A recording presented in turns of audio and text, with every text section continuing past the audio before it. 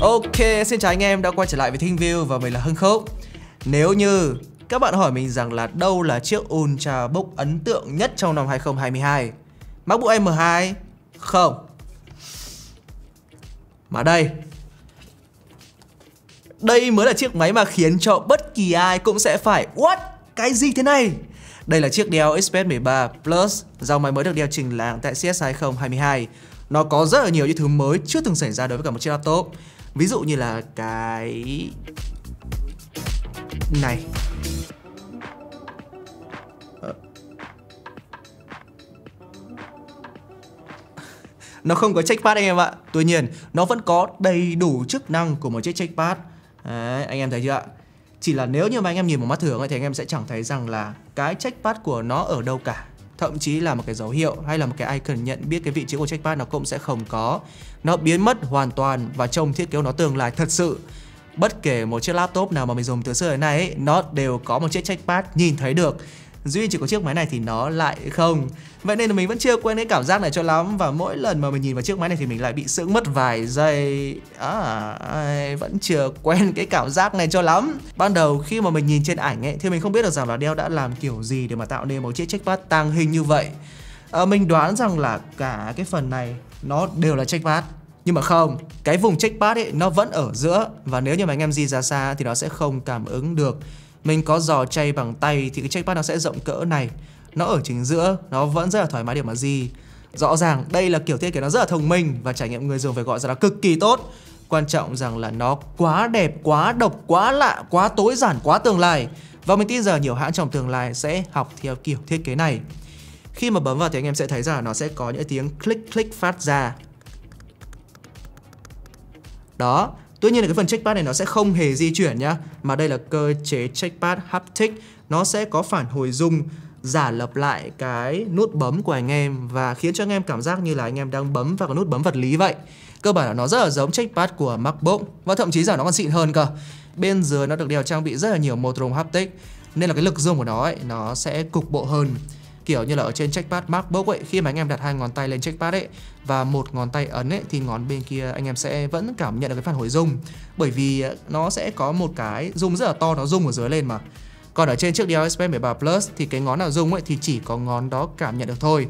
Rõ ràng là Dell đã đầu tư rất là nhiều vào khâu R&D cho chiếc máy này. À, Dell cũng bỏ luôn cái cụm phím function vật lý và theo đó là những cái nút cảm ứng như vậy đó, đó, đó. Mặc định thì sẽ là những nút F1, F2, F3, F4 Còn nếu như mà anh em bấm Fn thì nó sẽ hiện ra những cái phím chức năng. Hoặc là anh em cũng có thể đảo ngược lại bằng cái cụm phím Fn cộng Escape. Thực ra thì mình mới trải nghiệm và mình cũng chỉ nghĩ rằng nó ngầu thôi. Để cho đẹp là chính để mà đồng bộ với cả cái kiểu ngôn ngữ siêu tối giản trên chiếc máy này. Chứ mà xét trên góc độ trải nghiệm người dùng ấy, thì mình nghĩ rằng khéo lại như touch bar trên MacBook. Dùng vài năm cho nó ngầu rồi cũng như Apple lại bỏ đi. Nói chung là cái phần gì bên trong cái chiếc máy này nó cũng rất là chất ấy. Với các bàn phím thì nó cũng rất là chất. Đều đã vắt phẳng, tuột, Không có gì có thể ngăn cản được cái chân lý siêu tối giản trên chiếc máy này. Lúc đầu thì mình sợ bấm nhầm Và đúng là cái sợ của mình nó đã thành sự thật.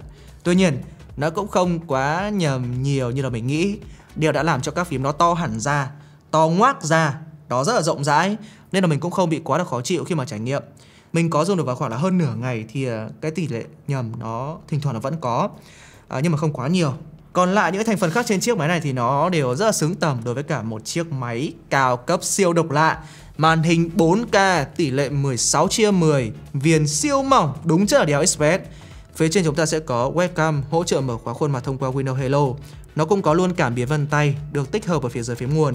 Mà cái nút nguồn này cũng được làm trơn nhá. Lúc đầu thì mình còn chẳng biết ra là cái nút gì chứ. Tối giản hết mức có thể luôn về cấu hình thì phiên bản mình đang có đây được trang bị CPU Core i7 1260P 16GB RAM LPDDR5 5200 hẳn hoi nhá. Tính ra thì cái băng thông RAM trên chiếc máy này nó sẽ cỡ vào khoảng là 166,4 GB trên giây. Nó hơn rất là xa so với cả cái mức 100 GB trên giây trên Apple M2 Đó. Nhưng mà Apple quảng cáo rất là tốt nên là ai cũng chú ý đến cái băng thông RAM trên chiếc máy này và hiệu năng của CPU Core i7 1260P trên chiếc máy này mình test nhanh được thì nó cũng vượt luôn cả Apple M2 một chút. Ở đây thì mình cũng chỉ mượn được máy ít thời gian thôi và mình cũng sẽ phải trả luôn. Nên là mình cũng có test nhanh cho anh em thấy được qua cái mức hiệu năng của nó thôi. Chứ tất nhiên rằng khi mà anh em đi vào thực tế thì nó sẽ có rất là nhiều những yếu tố tác động để xem rằng là con máy nào đem lại một trải nghiệm tốt hơn. À, mình muốn nói qua một chút về cái phần chất liệu nhá. Về cơ bản thì cái phần khung bên ngoài nó vẫn là nhôm nguyên khối được thiết kế theo kiểu Genu Body Nhìn nó rất là tinh xảo. Và phải nói ra đây là một trong những chiếc máy được hoàn thiện là cao cấp nhất hiện nay. Tuy nhiên chỉ có một cái phần mà mình hơi lo ngại một chút Đó chính là cái phần checkpad này này. Cả cái phần bên trong này này Nó được làm bằng gương. Nó được làm bằng kính. À, Nếu như mà anh em sờ thì anh em sẽ không thấy được rằng là nó được làm bằng kính đâu Bởi vì ở đây Dell đã phủ lên một cái lớp mịn ở trên Để mà mang lại cái cảm giác sờ, kê tay, vuốt Nó sướng hơn, nó mượt hơn, nó mịn hơn. Nhưng mà bản chất nó vẫn là kính. Và kính thì nó vẫn là kính. Nếu như mà anh em có làm giờ ấy, thì nó, mình hơi e ngại về cái mức độ bền của nó. Nên là nếu như mà anh em đi mua chiếc máy này thì anh em hãy giữ cho nó thật sự cẩn thận nhá. Còn về cổng kết nối thì chúng ta sẽ có hai cổng C chia đều ở hai bên và hỗ trợ Thunderbolt 4 không có rắc 3.5mm luôn anh em ạ. Bây giờ mình mới để ý rằng là em máy này Nó không có 3.5mm Dã man.